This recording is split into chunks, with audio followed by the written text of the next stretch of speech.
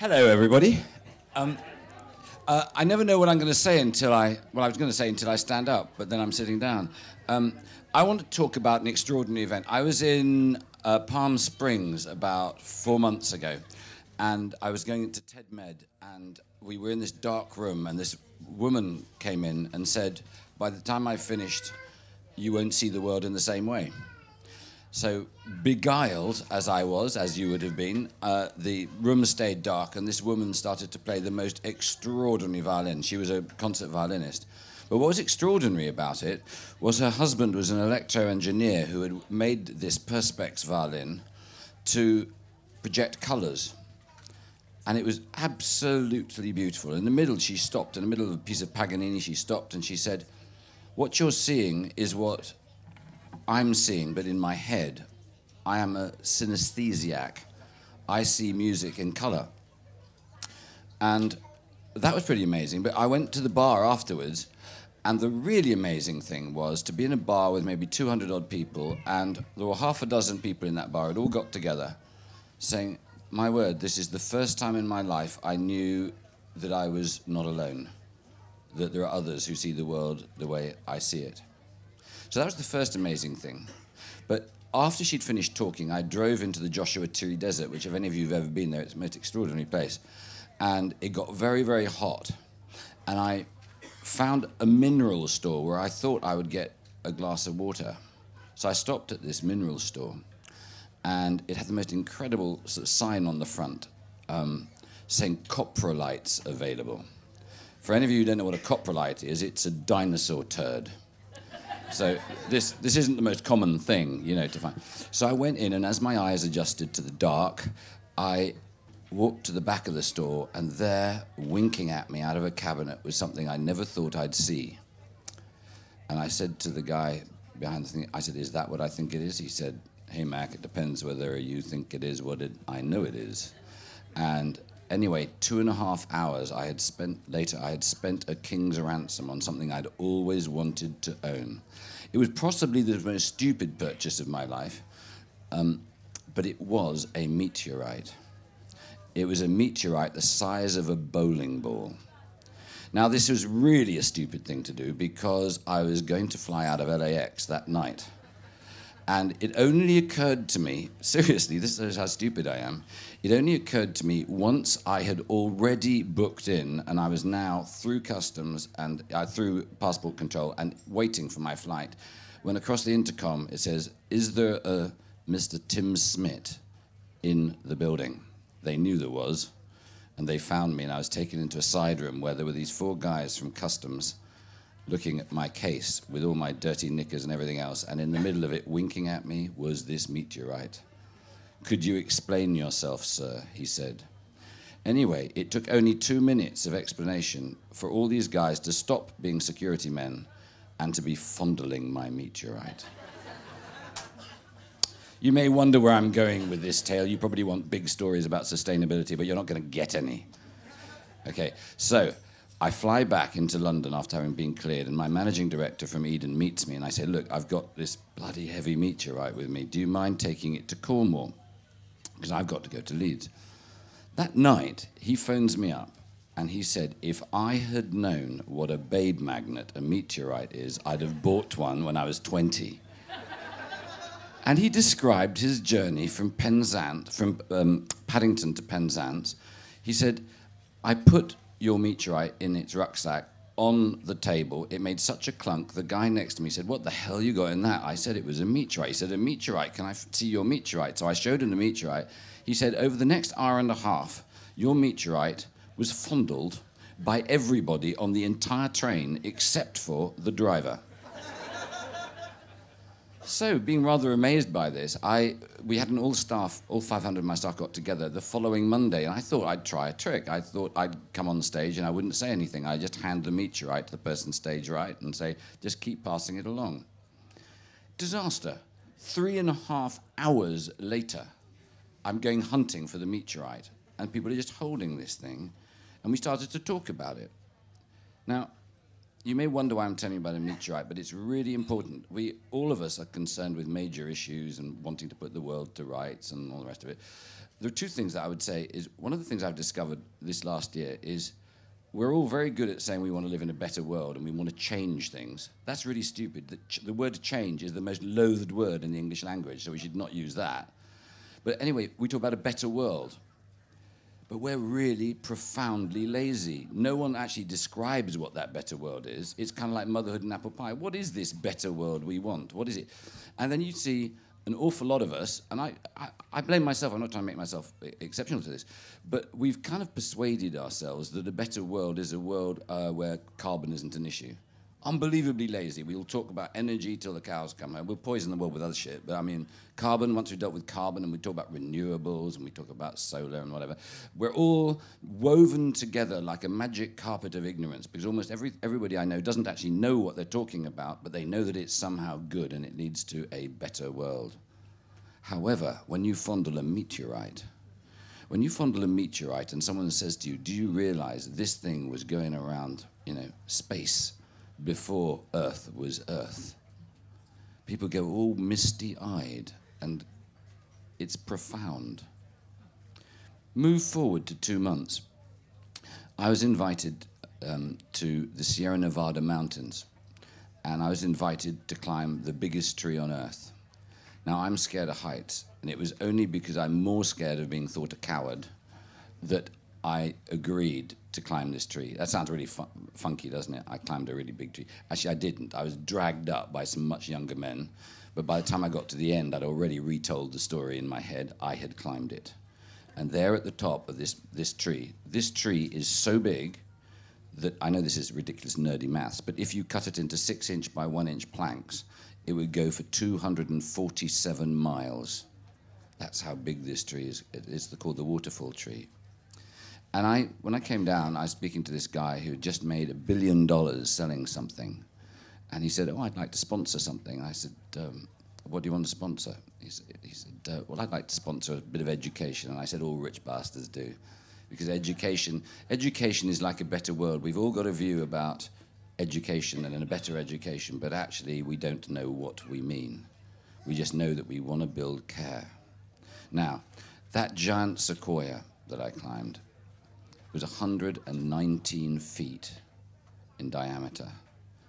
It was over 4,000 years old, and it shared, it shared with the meteorite the ability that anybody who touched it felt something profound. Called it spiritual with a small s, but something which made us feel tiny. And being made to feel tiny, I think, is utterly crucial. Utterly crucial. Because if I was to be a provocateur in matters environmental, one of the things I loathe above all else, the biggest damage that has been done to the environmental movement, has been predominantly men wishing to look like grown ups and play with the boys in suits. And in doing that, they've committed a completely dreadful crime. They have bought into the notion that you can price the natural world. Haven't we all heard it? Natural capital. Let us, in order to sit with the people from the big four accounting companies and look like we know what we're talking about, let us show how much it would cost in an alternative way to have these trees make clean water, to hold the soil together, to stop erosion, to create oxygen.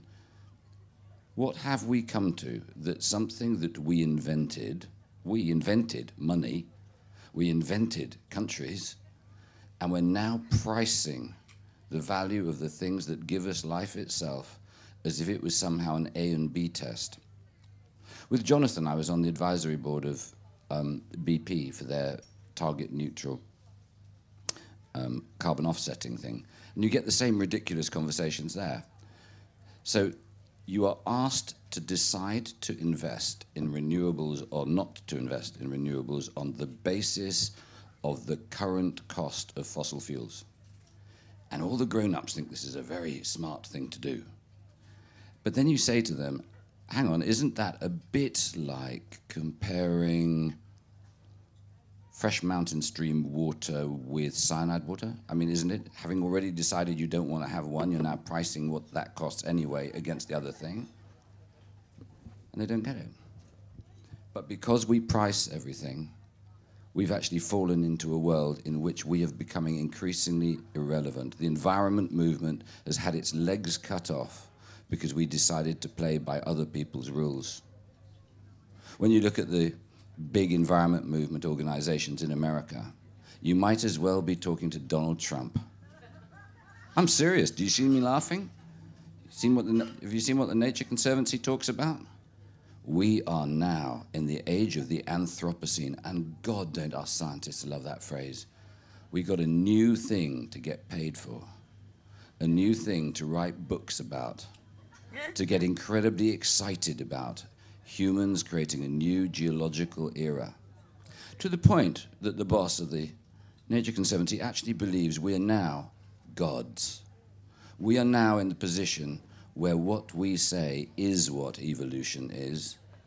And therefore, whatever happens, whatever happens is, of course, right. The loss of biodiversity is right because it's unsuccessful. More adaptation will take place. You've heard this argument, haven't you? The very fact that there are falcons on Wall Street, how ironic. There are falcons on Wall Street shows that adaptation knows no boundaries. Doesn't it? So, therefore, why the hell should we care?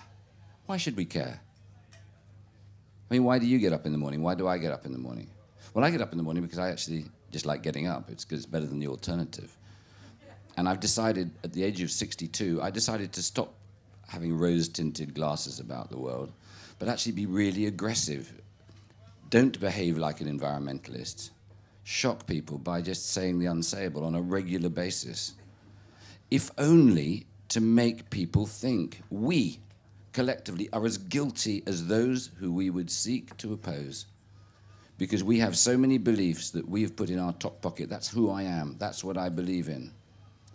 You know, it's a bit like the guy in London who believes he's intelligent and is a thinker because he's read an article by someone cleverer than himself that he hopes someone else hasn't read. Education and thinking is flaming difficult. It's really difficult, and it starts with feeling. And actually, saying what you stand up for is also really, really difficult. Because most people stand up for stuff because they, their mates stand up for it. They haven't thought about it. At Eden, we have these sessions, um, uh, the Eden sessions, and at the start of sessions, we often give people cards to fill in. A typical one might be You're going to be executed tomorrow morning at 9 a.m., uh, but tonight you may have the last dance of your life. What tune will you choose? Fascinating question, actually. It's a fascinating question because when you ask the question, the really fascinating thing is to stand on the hillside looking down and realizing that people are fascinated in other people's answers. I did this in a group of people. There were two teachers who had hated each other for 20 years to discover to their horror they liked the same song to be executed after. it changed their whole view. I have never seen two people that looked less like they were capable of dancing in the street, but anyway, it was a remarkable thing.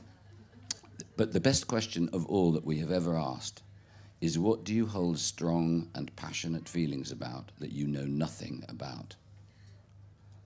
It is a horrifying question. When I asked myself this, I realized almost everything I feel passionately about, I know very little about. It's kind of instinctive. Is it the same for you? The same? Instinctive? Come on, let's be honest. This, is kind of like confessional. Where you wouldn't have you wouldn't have come on a lovely day like this to a tent like this if you, we went on the same kind of side, would we?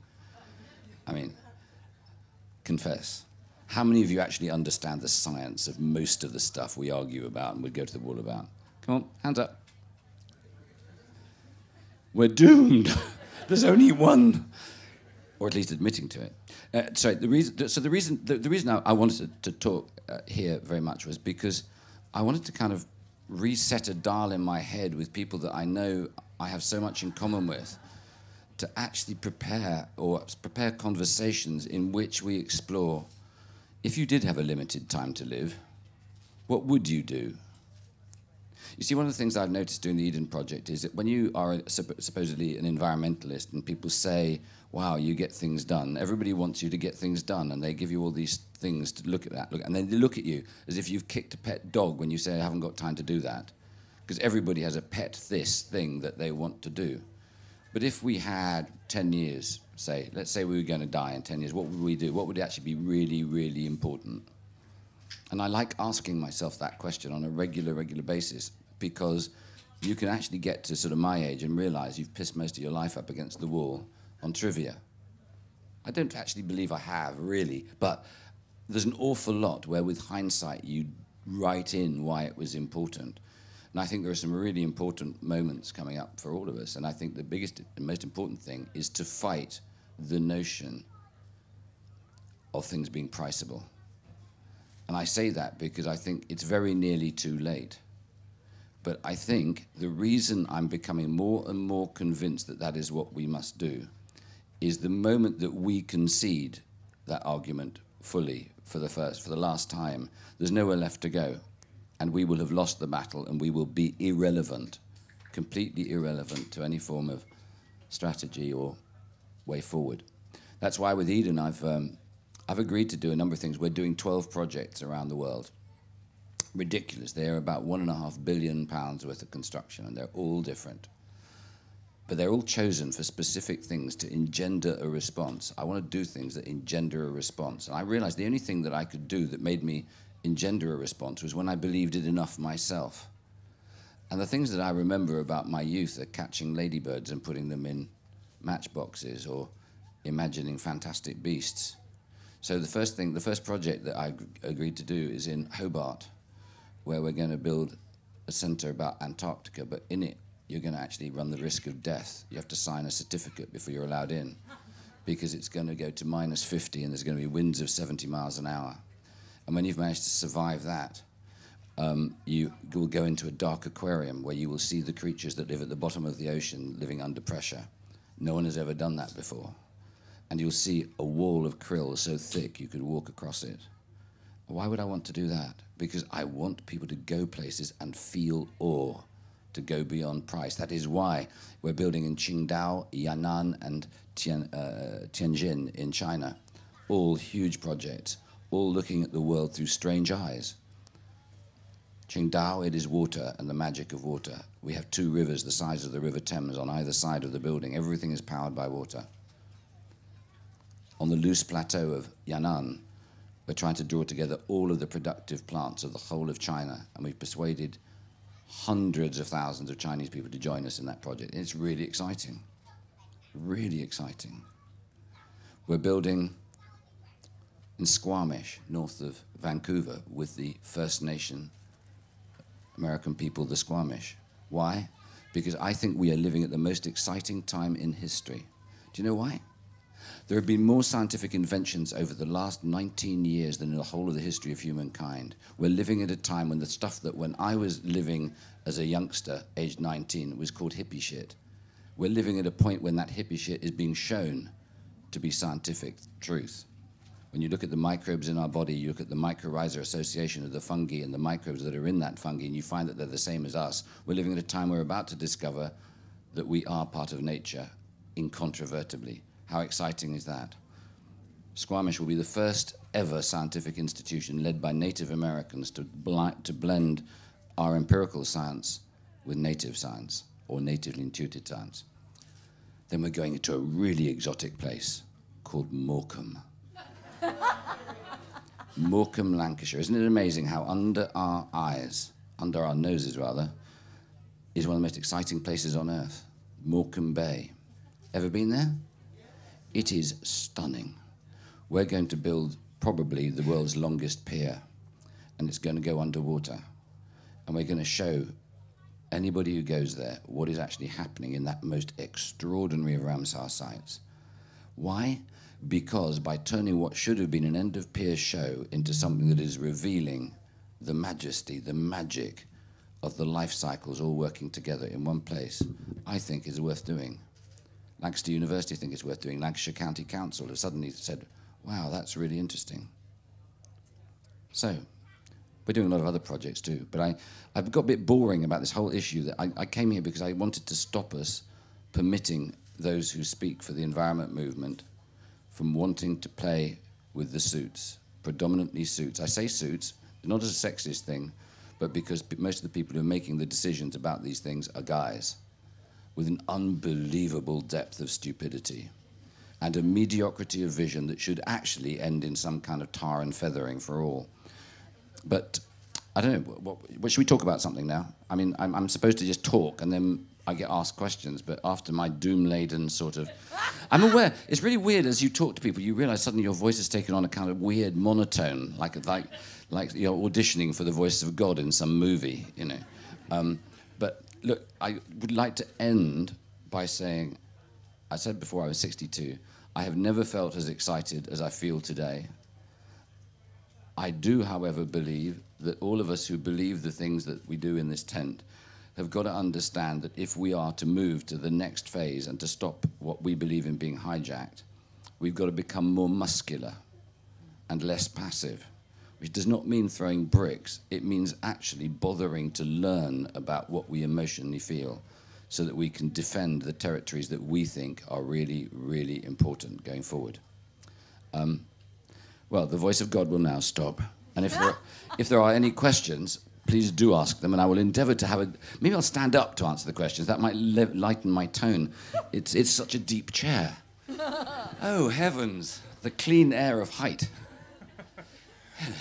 Well, thank you once again, Tim, for your eloquent awesomeness. And uh, I'm just wanting to clarify. That, so you're saying walking away from the suits and the, the, mainstream, so to speak, and just not engaging with that at all is the best thing we can do. But but how uh, is what you're trying to do sort of a way to, I guess, make everybody fall in love with nature and find that side themselves rather than going into the belly of the beast and trying to convince people who just don't want to be convinced. Is that what you're hoping to do, or like?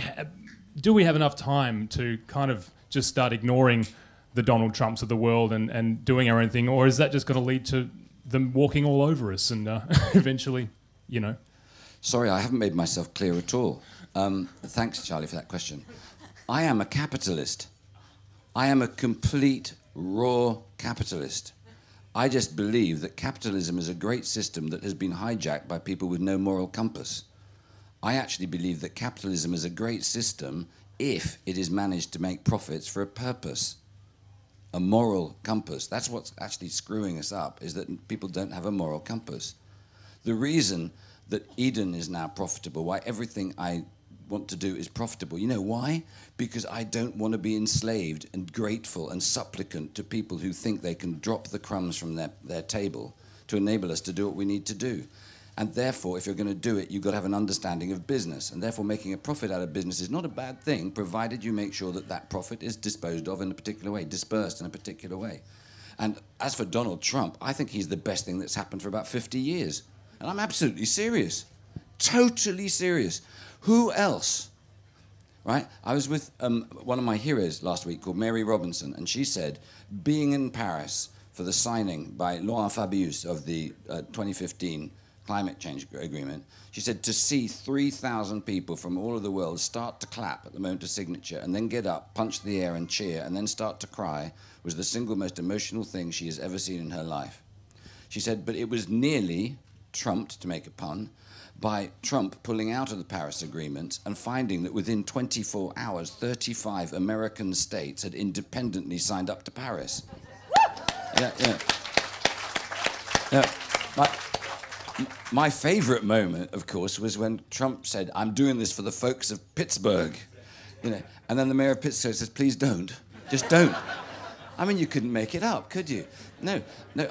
On the contrary, I actually think, going into the belly of the beast, I actually think many of us should start companies, successful companies, learn how to run companies so that they can be run and organized so that the elements that we take out of the environment are properly accounted for in a, a, a, traditional sense of accounting, having said that I don't want to be like that, let me, let me tell you that, that there is one thing. Any of you interested in capitalism, let me share one thing. If you wanted to put probably as much as 50% right in the whole world of capital, there's one thing you needed to do, and it is so simple that even the governor of the Bank of England has privately admitted to me that he doesn't know why it hasn't been done. The reason it hasn't been done is because most people at the top of, of, of, business are so establishment, they honestly do believe that the rules of business they're engaging with were handed down to Moses and they're unchangeable.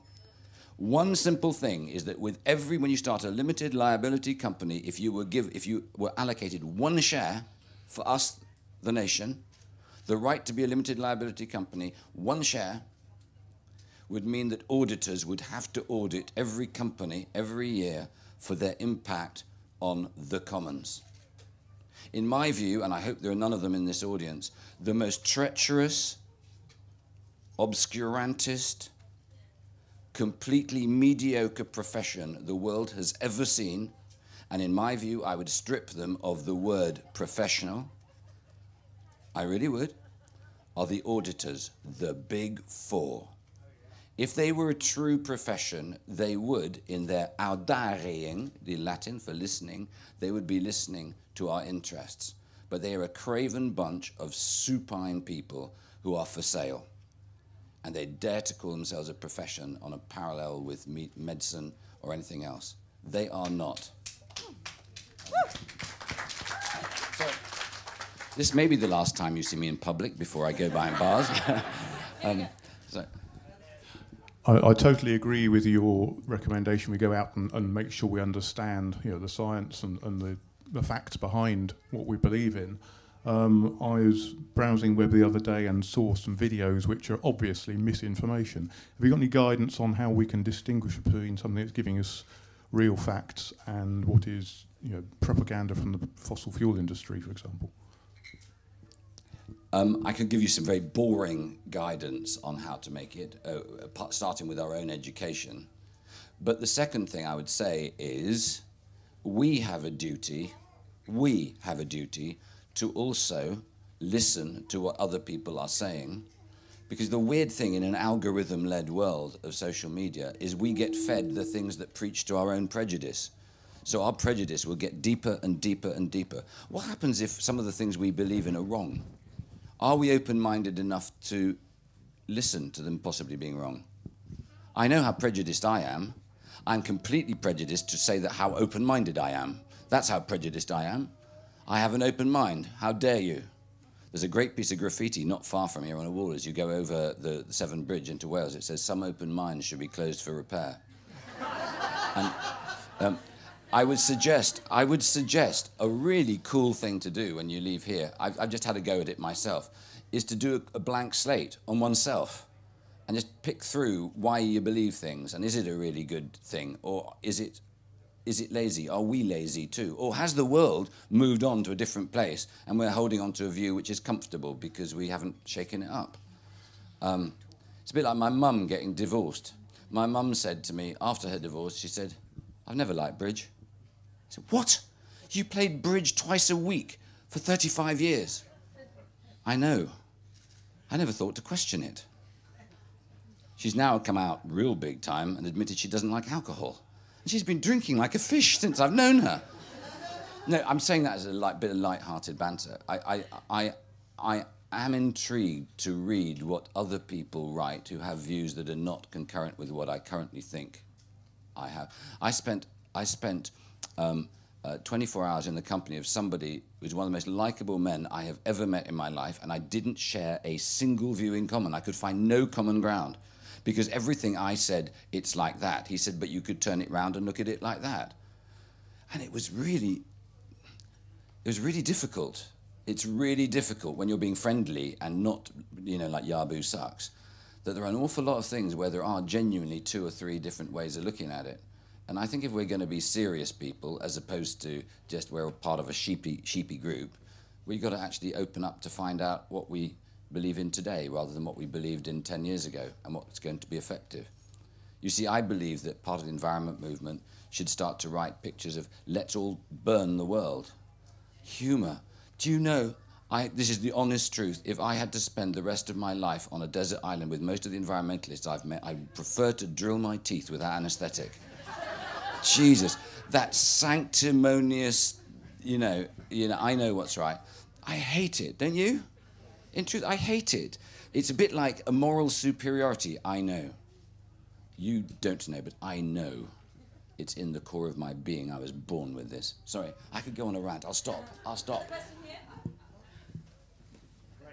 Um, I, I love all these big projects that are going, going to bring people to the magic of extraordinary parts of this planet. And it's a bit like watching David Attenborough and seeing all these extraordinary things that happen with animals that you can't see around you. But uh, I wonder if you've come across the term re enchantment. I think what we need is to, to enable people to look at what's around us with different eyes and bring back the magic and actually uh, decorate trees. You know, there are lots of uh, lovely soppy traditions that actually uh, talk about the magic of what's around us. How do we get that back? No, I like the word. I like the word re-enchantment. I, I think there are a, bunch of trees would think that they've done a pretty good job on decorating themselves, actually. But, um, but, but no, no, I'm just putting it, putting it, putting your leg. The most important hour of my life, if I'm allowed to exclude those domestic moments, which one is supposed to put at number one, two, you know, but uh, the most, the most magic moment of my life was when the guy who was uh, the boss of the Lost Gardens of Heligan for me said, "Would I give him an hour?" And he said, I'll change, your, I'll change your worldview in one hour if you promise to do what I say. You know what he did? He took me, I don't know if any of you have been to Heligan, but he took me to the east lawn and he pegged out one meter square and he put a chair at one side. He said, I want you to look at that one meter square as if the devil himself is going to come out and kill you. I want you to really be obsessive. I want you to be exhausted at the end of one hour. And I said, All right. So I sat there and I looked at this bit of field. And for the first 10 minutes, I was just getting cross. All you see is grass, isn't it? It's grass. But then suddenly your eyes pick up on the essence of grassness and you start to see the different grasses. And then once you get used to seeing it in a new way, you suddenly see a couple of insects, and then you get used to insectness. A bit like, you know, those paintings in the 70s with dots, and people would say to you, Can you see the elephant in the middle of it? And I never could. I could never see the elephant in the middle of it. But in this case, I got element of grassness, and I got element of insects, and then I saw small mammals. And I thought, How is it possible? I've walked here day after day. Exactly. Um, um, uh, I've walked here for, for, for about 15 years, and I've walked in nature for since my birth, and I've never looked at it like this. And it's extraordinary. Two things happen. Two things. Two, th- two things happen. It's just no. It's absolutely charming. Um, it, um, it's completely made me lose my thread, but you know. Um, no, no, two things happen. One is the sense of extraordinariness in what you're seeing. The second is it makes you very paranoid about walking through a field again because you feel like a serial killer. You know, you can't put your feet anywhere. But, but, but you're absolutely right. That, that's why um, the giant sequoias are so amazing, and that's why we're going to be building a tree house in the top of those giant sequoias, 275 feet up. Because one way out, you look, at, you look out over Sequoia National Park, and the other way, you see Death Valley. Is there ever a better metaphor of what's in front of us? It is the most astonishing thing. Um, so I, I, think re-enchantment is, is, is, is absolutely right. I think recalibration of the mind and re-enchantment at the natural world are totally crucial. Totally crucial. So yes, I salute you for that. Tim, uh, I'm going to be completely cheeky and take a question myself. I thought it would be nice that a woman speaks as well, ladies. Um, I'm really up for social enterprise and things making a profit and having their own legs so they are sustainable and not begging for crumbs. Um, and something we try and do here at the Seed Festival.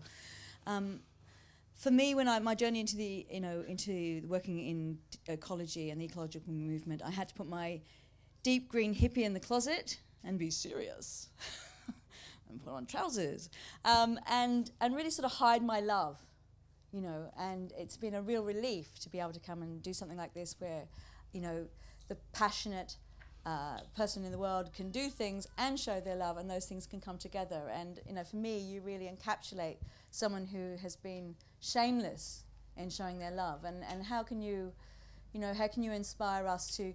A lot of us work between worlds, and have mm. that thing where, okay, for this meeting, I have to pretend I'm not this, or they won't take me seriously. They won't take my love seriously. So I'd just like you to speak on how you've managed to overcome some of those moments. That's really difficult. I think. I think what this goes back to what I was saying earlier about muscularity. It's if you use the sort of language we might use, but you don't use it as if it's tailored into kind of hippie speak. Do you know what I mean? There's a, there's a, a form of language which, if I'm in business, for example, I will never work with someone who talks about centers of excellence, working out of the box, joined up thinking, leading edge, cutting edge, bleeding edge. You know what I mean? you know that people who use those words and how innovative and creative they are, they, are, they will be, the, the absence of all of those things will be immediately visible in the people saying them. And I think one of the things about being loose with your language, oh, I love nature and all the rest of it, is really different to saying, I am completely convinced, not only intuitively, but science is supporting me, about the interconnection of all things. And I feel connected because I'm awake and I want to be more and more awake and I want to observe things. Now, be aware of a number of things that, that science and art share one thing, uh, which is if you look at it like a wishbone, it is observation. And most of us could benefit an awful lot from learning to observe more. Observing more and listening more are probably two of the greatest pieces of advice, advice you get. But you know what's really interesting? I was at um, DeepMind last week at the Google um, AI outfit. You know who they're buying at the moment? They don't want programmers anymore. They've suddenly realized that what the future needs is ecologist. Ecologists. They are buying ecologists and offering huge salaries to ecologists because they've suddenly realized that a binary system of algorithmic uh, uh, function is not going to give you the interrelatedness on about three or four dimensions. Now, that is really interesting. Our time is coming. It is. You see, once people have got added up two plus two plus two, and they get and they, you still don't get what you want. What we're talking about is something like it's the same ludicrous thing when I talk to companies, right? And you have a chief executive. You know, I love that phrase, chief executive. It makes you feel so. I don't know what makes you feel, but like a ponce, really. But um, and you have a straight line down to the weighing scales of authority where you have a marketing director, sales director, finance, all those directorships, and next to them you've got those clusters like grapes of people they're in authority over. But it's all like kids whistling to stop crocodiles biting their toes under the bed at night. It, they aren't in control. You know what? I run, you may know this about me, but I run Eden like we're a, a pack of wolves. I don't do this chief. We have chief executives, but that's just to make other people happy. The truth is that we do some weird stuff like if I have a good idea or other someone else has a good idea, we all go somewhere, and everybody says, "How inefficient is that? You're just so alternative." And I go, "Okay, it's inefficient." I go with four my four top people. We fly to America. We meet someone. I like the idea. I say, "Do you guys like the idea?" And they go, "Yeah." We go, "Right, let's do it." Bang. What do you do? You, you send someone over to America, you have a long conversation, they come back, they write a report, it goes to the board, they all approve it, then you go back, then you go back, you take a team, you do a due diligence, and probably by the time that they've lost the will to live, you haven't done the deal. That is why most of the big companies in the world are already dying, because they build in the atrophy of wanting to be a grown up. And that is what makes people like me dangerous in a mild way. Because if you've run something that has been profitable and is, well, is profitable and is successful, they can't describe you as other. The way we are reduced to being impotent is by people feeling comfortable to say, look, they dress funny, they got funny hippie shit ideas, they're other it is really dangerous for them when you can speak their language. And we can. But the same thing about social enterprise, at the risk of you throwing things at me, I, Eden is a social enterprise, and it's for too long it has been seen as one of the leading social enterprise, enterprises. And the reason is there is a sickness at the heart of it where all sorts of people who want to think that they are enterprising thinks it's enough to run their NGO, whatever, with the word enterprise in it. I think that a lot of people deserve a slapping from a wet mackerel. Honestly, there are too many mediocre people running organizations for themselves to make themselves feel better, but their organizations are making not a hapeth of difference. Not a hapeth, because they're crap at running them. I believe if you're a good social entrepreneur, you ought to be able to run any company anywhere because you know what you're doing. And we let a lot of people get away with it with motherhood and apple pie sentiment and all the rest of it if you want to run a business in which people are working for you and their lives and livelihoods depend on you being good, for God's sake, be professional enough to learn it. I'm sorry I feel angry about it, but when I was in the music industry for 10 years, the thing that used to get right up my nose was artists. I'm an artist, I, I, I don't do business. Say, okay, well, we'll rip you off then, shall we? shall we? Because you don't care. Idiots, idiots. It's such a soft headed perspective. I think everybody in this audience ought to understand business Because the moment you understand business, you'll realize there's no mystique. And also, many of you will realize you're bloody good at it. Now you've looked at it, you go, oh, I can do all that. But it's been hidden in language and processes and things which make it obscure. So, that was my rant over. So, don't be two people, become one. Mm. Or be a kind of, I don't know, camouflage schizophrenic. Tim Smit, ladies and gentlemen. Thank you so much.